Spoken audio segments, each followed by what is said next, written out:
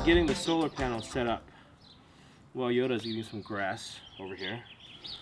I have these uh, these little S brackets that um, that'll let me kind of sit the panels a little bit higher off the surface because there's like a there's like a dome on the top of the Sprinter roof. It's not totally flat. So this needs to sit higher off. And I'm hoping what I've got here standing off of it is going to be enough. Otherwise, we'll have to redo this whole thing. So, um, what I did is I got these extruded angle brackets made of aluminum. I got like the heavy duty one. These are like 50 bucks. How much were they? Were they 40 bucks a piece almost? Yeah. They're eight foot pieces. The solar panels are 58 inches long and about 26 inches wide.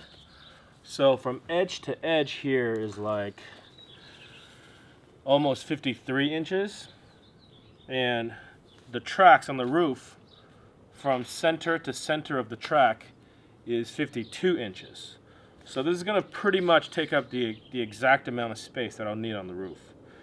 So it was had to be pretty precise, but at the same time, like these can kind of turn side to side a little bit to adjust for for the spacing. So I've got these aluminum angle sitting under, so it's forming basically like a like a little holding bracket for the panels to sit on top of it.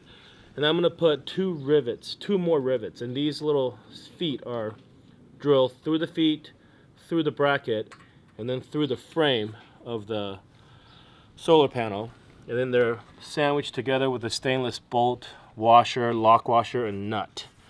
And then I'm gonna do two rivets on each side. So four across here, four across there. It'll make it like one solid unit. And then hopefully be able to hoist it up to the roof and drop it in there, see if it fits. So that's where I'm at. I've gotten the four corners done. I've gotten the holes drilled. Now I'm gonna drill eight more holes for these eight rivets to go through. And everything I'm using is either aluminum or stainless steel because you don't want it to rust. So one thing you gotta be really careful of when you drill from the bottom of the panel is to make sure you have something sitting behind there like a piece of wood. That way when you when your drill bit comes through, it doesn't go all the way through to the back of the solar panel. It'll probably shatter the glass. So just be careful when you do this.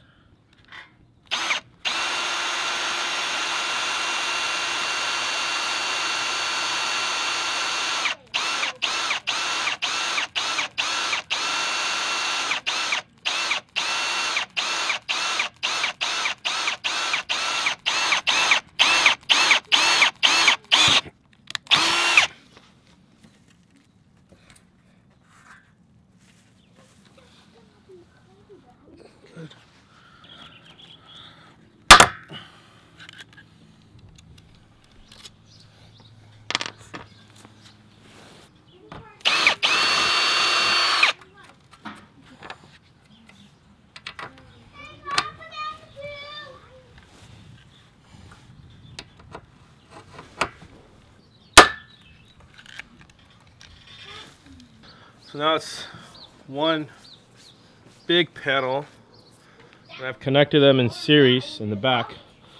So to do that, you go negative, positive, and the positive connects to the negative, and the other one. Now if I measure the voltage coming out of these two panels set up in series, so I should be able to see about 45 to 46 volts. Okay, that's positive, and that's negative. 45 volts. Perfect. So now we just need to get these up on the roof. They have these flat, these flat nuts that slide into the bottom of the tracks. So you put that in, you put the bolt in through the top and that'll capture it in place and lock it in place.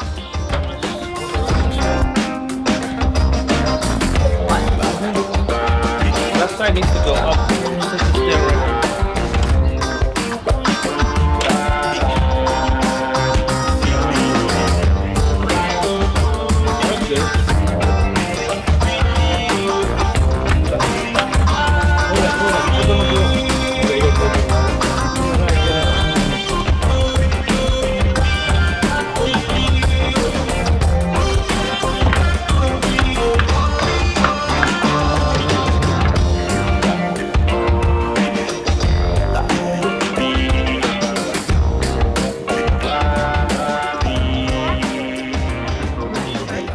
There's a solar panel out on the roof. I left just about an, a little over an inch, looks like, of clearance between the front and the front fan.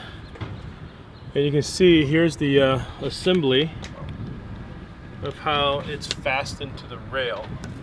There's just a little S bracket and there's the track nut underneath and then the six millimeter stainless hex bolt goes through with the washer and also this rubber washer that came from Yakima.